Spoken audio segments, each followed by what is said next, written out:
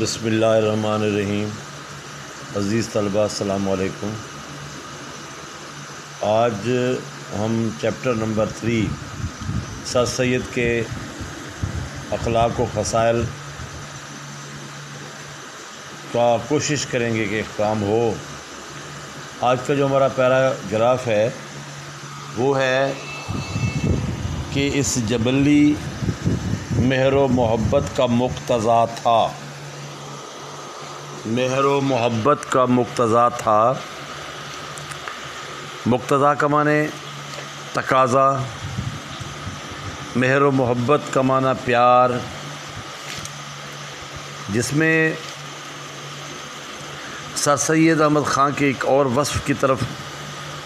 उसने इशारा किया है और वो कहते हैं कि ये उसका मुक्तज़ा था, तकाज़ा था और वो जबिली कहते हैं, फितरी, जो कुदरती तौर पे अल्लाह ने रखा है, कि लगे बंधों, यहाँ ज़िक्र आता है अपने रफ़ीक़ों, यानी दोस्तों, और नौकरों, और लगे बंधों। लगे बंधे का माना होता है वाबस्ता, जो उनके साथ जिनका ताल्लुक़ है। उम्र भर अपने साथ निभाना चाहते थे, यानी वो जो उनके पास आया, जिसके बारे में आगे लिखता है कि जिस शख्स के कदम उनके पास जम गए, फिर ना वो उसको अपने पास से जुदा करना चाहते थे और ना वो उनसे जुदा होना चाहता था। यानी इतनी मोहब्बत, इतना प्यार और उनस जो है, वो आपस में क्रिएट या पैदा कर लिया जाता कि वो जो आया, वो गया नहीं। ना इन्होंने रवाना किया और ना वो जाना चाहता है। अव्वल तो ये किसी की शिकायत सुनते ना थे, एक और वस्फ है उनका, कि अगर किसी ने नौकर की, दोस्त की, किसी की शिकायत की तो नहीं सुनी। अगर कोई किसी मुलाजिम की कोई शिकायत करता था तो उसका कुछ असर ना होता था। यानी उसकी शिकायत सुनकर नौकर को डांटना, उसको बेइज़्ज़त करना, रसवा करना, ये उनकी आदत नहीं थी। उनके कदीम मुलाजिम की लोगों ने उनसे बारहा शिकायत की। पुराना मुलाजिम था उनका, उसकी उनने बारहा, यानी कई बार शिकायत की।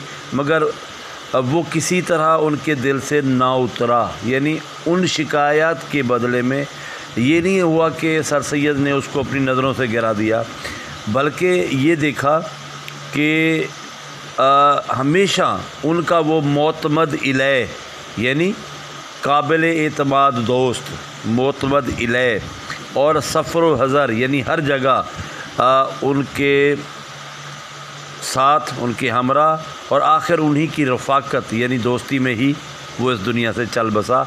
यानी शिकायत के बावजूद उसको किसी किस्म का कोई नुकसान, कोई डांड डबट कोई चीज़ नहीं की।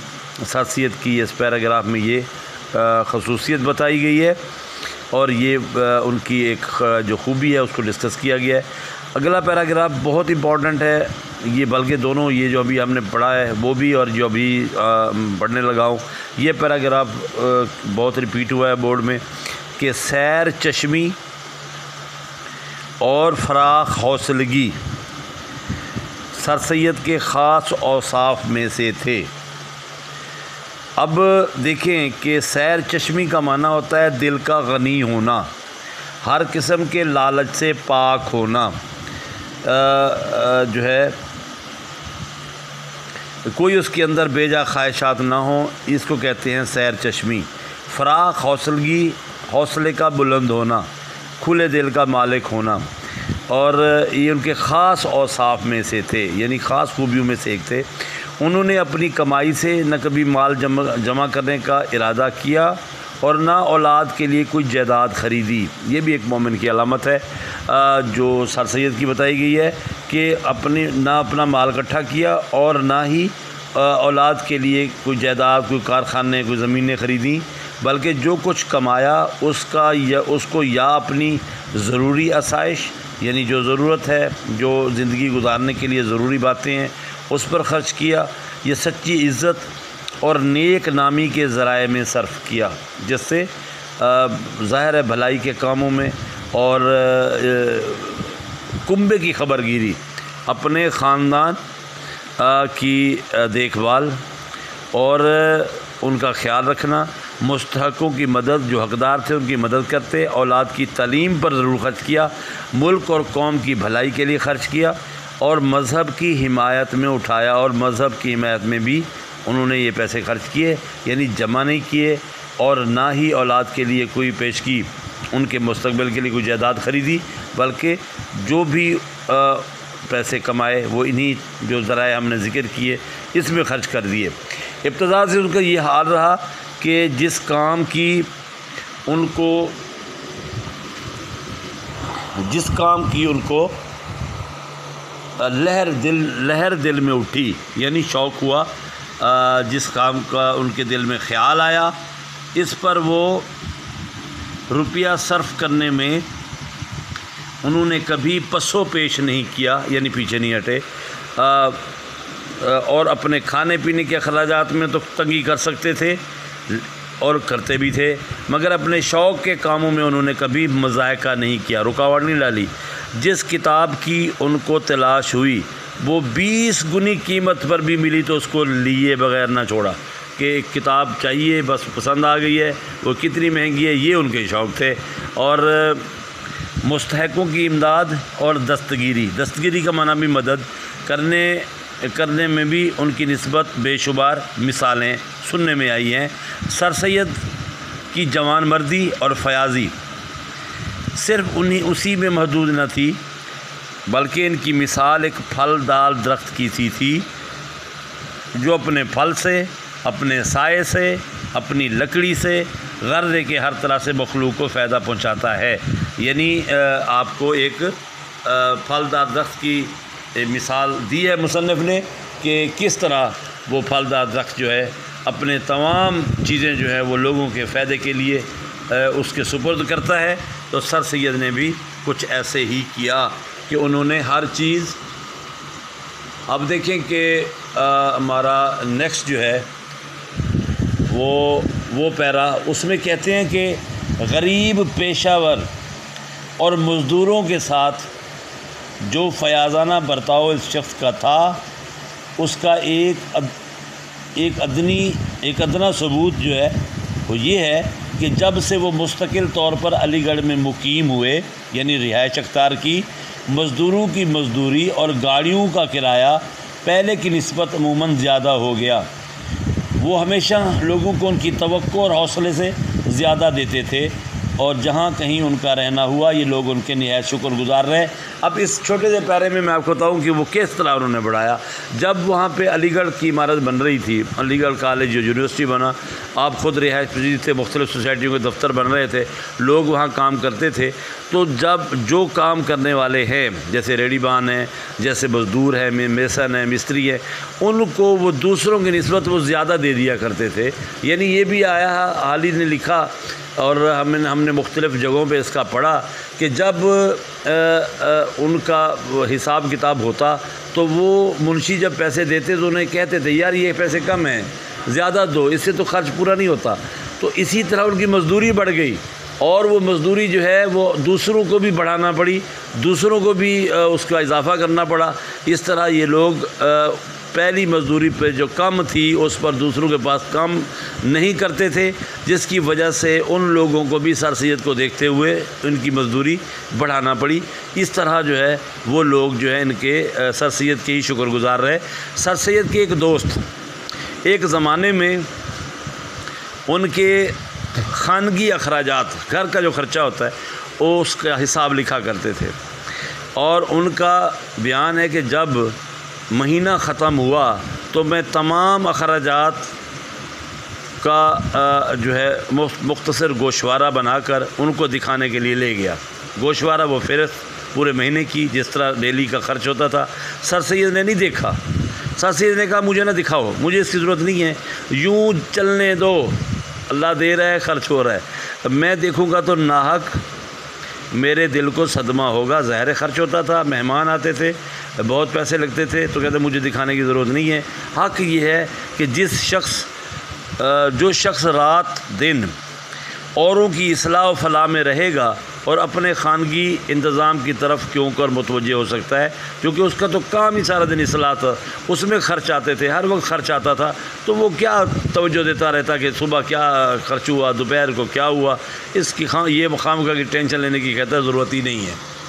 अब देखें कि हमारा जो नेक्स्ट पैरा है, उसमें हाली कहते हैं कि मुखालिफ और दुश्मनों की बुराइयों को का तहमुल करना और कभी उनसे इंतकाम लेने का इरादा ना करना, ये भी सर सैद के उन असाब में से था। बहुत बड़ी बात है कि जो शख्स, जो दुश्मन बुराई करता है, उसको बर्दाश्त करना है और उससे ना इंतकाम लेना है, ना इरादा करना है। बहुत बड़ी खूबी है ये। और जो इनकी ज़ात के साथ मखसूस थी हर किसी में, भी नहीं होती है।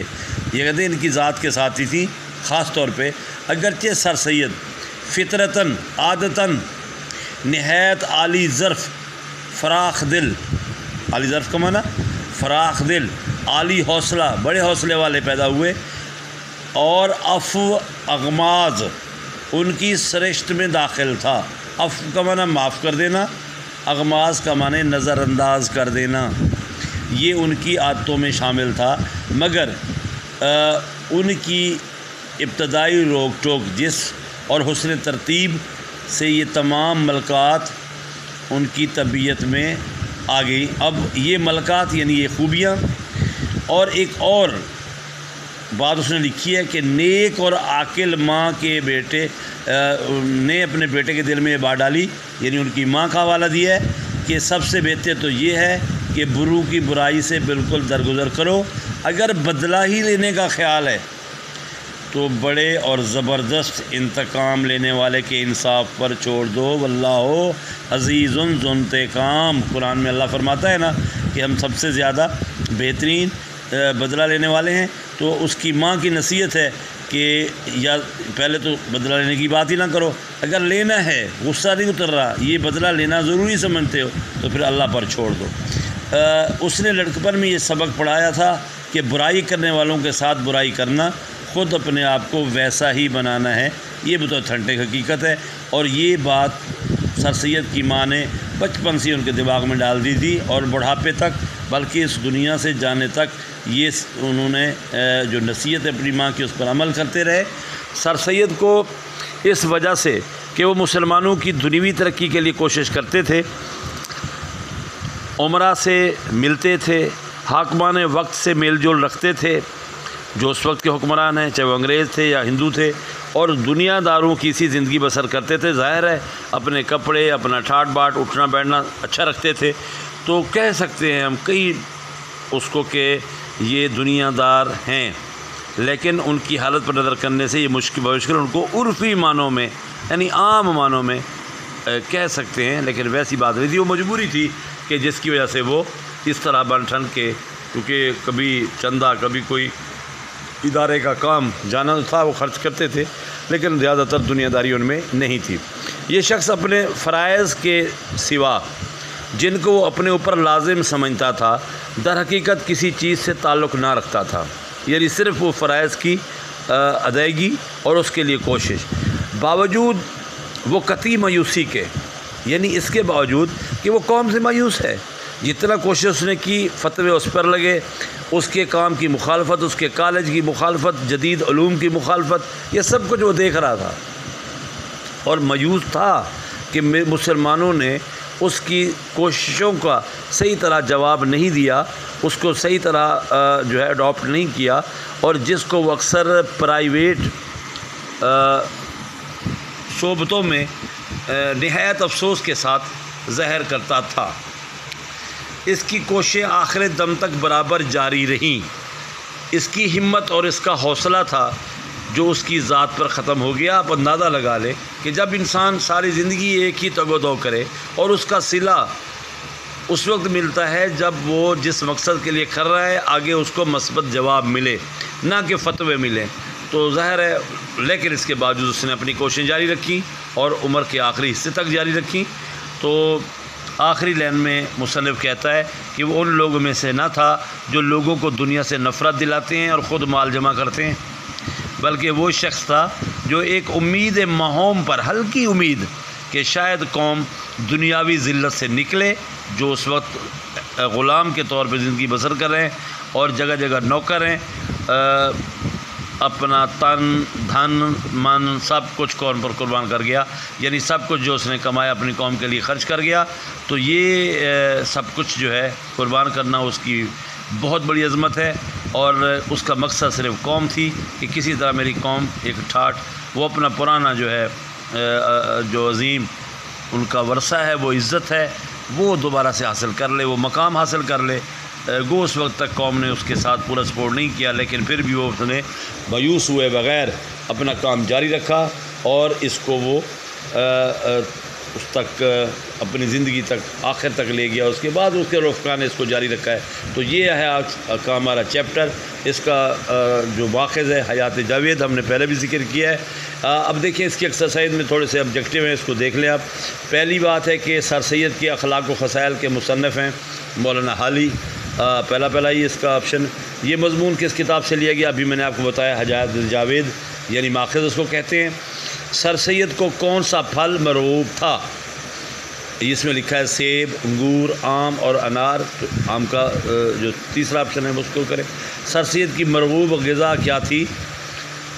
खुद ये खीर दाल गोश्त जो मिल जाए। दाल ऑप्शन है यानी वो कभी खाने में एतराज़ नहीं करते थे जो मिल जाए। तो सर सैद के खाने के, के बाद अक्सर क्या पीते? दूध पीते थे ये तीसरा ऑप्शन इसको टेक कर दें। तो आगे क्वेश्चन आंसर हैं और फिलिंदी ब्लैंक्स वगैरह, ये हमारे सिलेबस का हिस्सा नहीं है। तो इसका भी आपने ख़ुलासा और इसके पैराग्राफ मैंने आपको साथ साथ बताए हैं। ये आपने करने हैं। और इसमें आप देखें कि मैं आपको फिर रिपीट करवाता हूँ कि पहला जो इसमें था, मैंने बताया था आपको कि ज़राफ़त और खुश तबी ये पैरा, देखें, ज़राफ़त और खुश तबी से लेकर मुतजावज़ ना होने पाई, पाती थी। ये निशान लगा लें आप। ज़राफ़त और खुश तबी इनकी जिबलत में दाखिल थी, यहाँ से लेकर हद से तजावज़ ना होने पाती थी। एक पैरा ये था और दूसरा पैरा इसमें था कि मेहनत और जफाकशी की काबिलियत से लेकर सबको जिला हो गई थी और उसके बाद देखिए नेक्स्ट पैरा था हमारा रास्तबाजी। और वो तमाम औसाफ जो एक रास्त बाद आदमी में होने ज़रूरी हैं। यहाँ से लेकर मोहब्बत का ज़हूर बदरजा गायत पाया जाता है। यहाँ तक ये लंबा पैरा है, लेकिन बहुत इंपॉर्टेंट है। इसको भी आप देखें और इसके साथ मैंने आपको इसके अशार भी उस वक्त पढ़ाते हुए लिखवाए थे। उसको भी जहन नशी करें। अच्छा नेक्स्ट पैरा हमारा है कि इस जबली मेहर मोहब्बत का मुक्तज़ा था। आज हमने पढ़ा है इस जबली महर व मोहब्बत का मुक्तज़ा था। यहाँ से लेकर उन्हीं की रफाकत में मर गया। इस पैरा का भी निशान लगाए। बहुत इंपॉर्टेंट पैरा है ये इसको इसकी तशरी भी आपने करनी है। और उसके साथ जो लास्ट है और वो है सैर चश्मी और फ़राख हौसलगी। इसके बाद वाला पैरा है। आ, इसको भी आप निशान लगाएँ। सैर चश्मी और फ़राख हौसलगी। और हिमायत में उठाया, मज़हब की हिमायत में उठाया। कहीं कहीं तो उन्होंने उसको आगे तक ले गए हैं पेपर में, बोर्ड में, कि कीमत पर भी मिली उसको लिए बगैर नहीं छोड़ा। बहरहाल ये पैरा जहाँ तक भी आया ये पैरा जो है, इंपॉर्टेंट पैरा है। और इसके साथ एक चीज़ इजाफा कर लें, ये बात है ना, सैर चश्मी और फ़राख हौसलगी। इसके साथ एक पॉइंट जो है, एक जो है, ये कॉल है, एक दाना का इसको आप ज़रूर शामिल करें कि हसद ऐसा जहर है।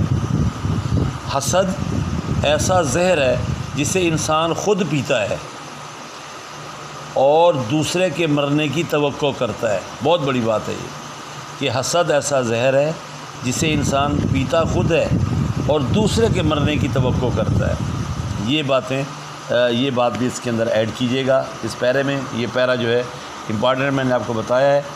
और बस यही पैरे पैरे तो बहरहाल इसके काफ़ी हैं इंपॉर्टेंट हैं, और भी पैरा एक लास्ट वाला पैरा भी है इसके अंदर, जो बोर्ड में रिपीट हुआ कि मुखालफों और दुश्मनों की बुराइयों का तामुल करना ये पैरा जो है बुराई करना ख़ुद अपने आप को वैसे ही बुरा बनाना है, इसको भी वैसे आप निशान लगा लें।